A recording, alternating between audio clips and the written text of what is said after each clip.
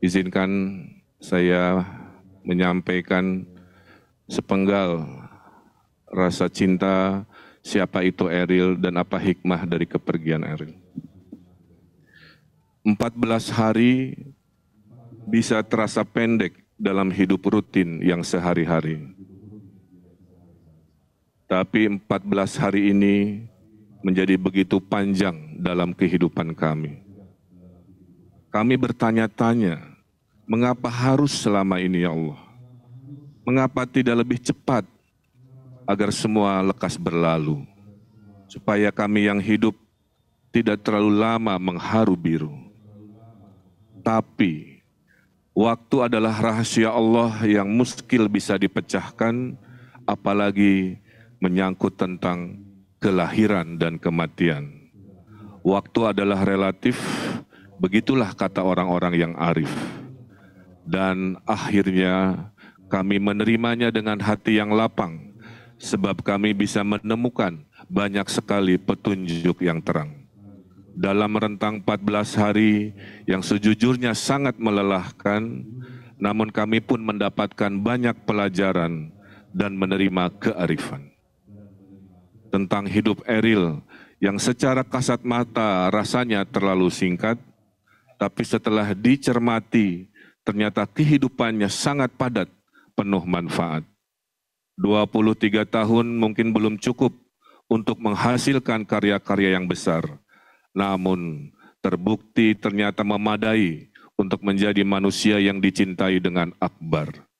Kami belajar tentang hidup yang tidak semata terdiri atas lamanya hari, tapi tentang tiap hela nafas yang dipakai berbuat baik walau kecil dalam sehari-hari. Kami mengikhlaskan Eril pergi karena kami akhirnya menyadari bahwa Allah telah mencukupkan seluruh amal-amalnya untuk menutupi kemungkinan bertambah kehilafannya. Mungkin akan berat, tapi kami sebenarnya sudah menyiapkan hati kalau kami tidak akan pernah lagi melihat jasadnya untuk terakhir kali. Bukankah Eril lahir di New York yang berada jauh di seberang. Mengapa tidak jika ia wafat di Swiss yang jauhnya juga tidak berbilang? Bukankah tiap sejengkal tanah adalah milik Allah yang menentukan segala pergi dan pulang? Luncuran doa yang dipanjatkan dari berbagai penjuru negeri adalah limpahan pertanda yang lebih dari cukup bagi kami untuk yakin barangkali Allah memang yang menghendaki agar kepulangannya disambut baik oleh langit dan bumi.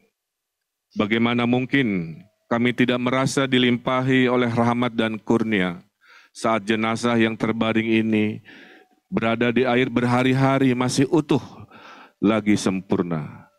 Itulah salah satu keyakinan kami bukti adanya mukjizat yang akhirnya alhamdulillah kami diberi sempat untuk melihat tanda kekuasaan Allah Sang Pemberi Berkat, pelajaran bagi kita yang beriman dan yang pandai membaca isyarat. Kematian Eril merupakan kehilangan yang sangat telak, juga pengalaman yang sungguh dahsyat. Dalam momentum waktu yang nyaris sejajar, kami merasakan kehilangan yang paling besar.